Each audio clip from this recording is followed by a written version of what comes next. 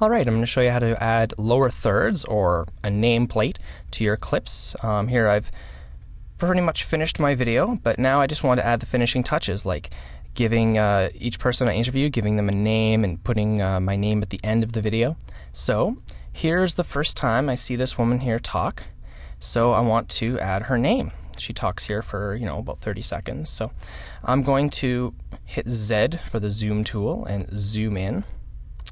Or I could use this little tool here to zoom in and zoom out.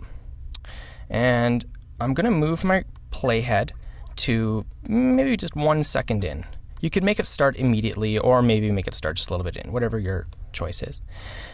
Now, um, to add the lower thirds, I click here in my viewer. I click here. I have to be on video first, this video tab. If I'm here on mono uh, or filters, see here, I don't get, I don't have a little A. I go here to video. I click on the little A. I go down to text and then lower third. Now you see here it says sample text 1, sample text 2. Um, I need to be here on the arrow tool or push A. Now by default this lower thirds is going to be 10 seconds long. That's pretty long. So I don't know how to change that default, uh, so you always have to manually type in 0, 3 seconds, say, for a start. Now, um, right here it says sample text 1, sample text 2. If I click here on controls, here you see sample text 1, sample text 2. If I change this to person's name, go back to video, look here, person's name. Now, you could go here to controls, put in all the info, and then check back to make sure it all fits. But a little better way of doing it is just click this as it is, drag it down like that. I always drag it down until, say, you know, a higher up, like layer 3 or something, just so I can move it around. It's not going to interfere with any of these other video clips. Now, what you do is you drag it down, move your playhead over top, and now you see you can preview it. See, this playhead lines up with this clip and this, so I can see it here. Then what I do is I double click, don't forget to double click on this first, then go up to controls, and now I have this woman's name pre-written. It's Janet Sperling, so I'll copy that. Now if I go up here, put in Janet Sperling, and then click off, look, it's updated. Go here to her title. She's with the Canadian Lyme Disease Foundation. Put that here in text box 2. I can hit enter or click off. And there, now you see it's, we, we see what it's going to look like. Now, that's a little long actually. It's taking up too much room. I can change uh, the size of the font by clicking here on size, make that a little smaller. And I want to make her name a little bigger, so here for text 1, I can adjust the size. Now, this is a, a white font and it shows up okay, but it gets kind of lost.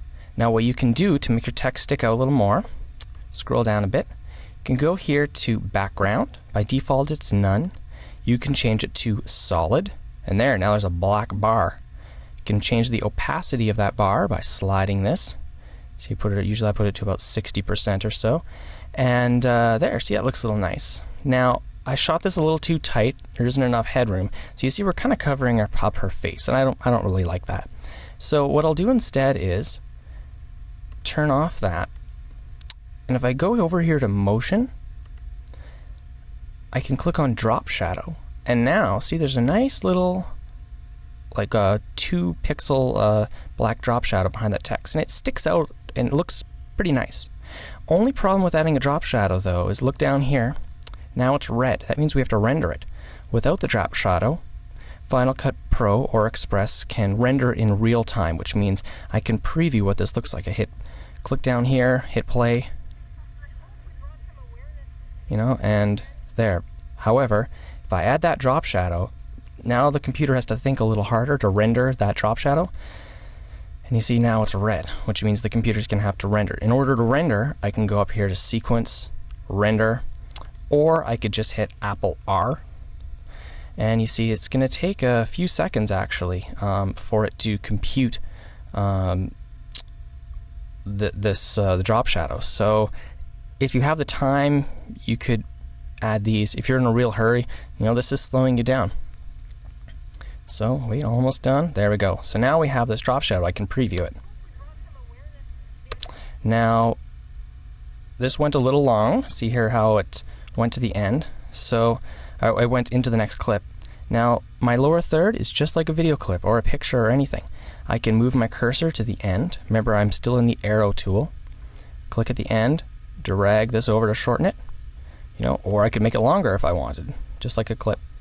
So now my clip is down here. Um, one last thing is you have other controls here you can play with. You could change your font color. By default, it's white. I could make this red. I could make my second font, or my second uh, line here, can make this yellow. Ooh, I could also change my font. Let's say I wanted this instead of Lucida Grande to be Impact. Whoa, look at that. So you have a lot of control. Um, one thing to note, though, is that certain fonts don't resize too well. Um, this looks good right now, but if I was to resize this video for web, um, impact falls apart because it's bubbly letters. And when this video gets resized and, and the image gets shrunk down, uh, the letters fall apart. So um, the default font, uh, Lucida Grande or whatever it is, uh, does work quite well. So I'll just leave it as that. And, uh, you know, white. But you, you have a lot of options here, as you see. So I'm just going to change this back to white. And this back to white. All right, one last thing. Here we have our clip, and it looks good. But if you watch, it kind of comes in, you know, here, here, here it is, and it just pops up and pops away. To make it look a little nicer, click at the beginning of it, push Apple T, and click at the end of it, Apple T. And now we've added a crossfade. See it kind of fades in and fades out. And that'll look a little nicer. Um, when you zoom in, you can, of course, control the length of that crossfade. Again, we're on the arrow tool. I can click at the edge of this and make it a little shorter. Click at the edge of this and make it a little shorter or longer. So here we go. Now again, this needs to be rendered because I have the drop shadow. So I hit Apple R. Wait a few seconds.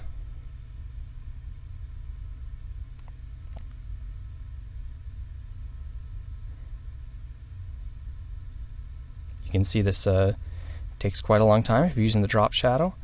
And uh, hit space. There, fades in, fades out. So there you go. That is how you do uh, lower thirds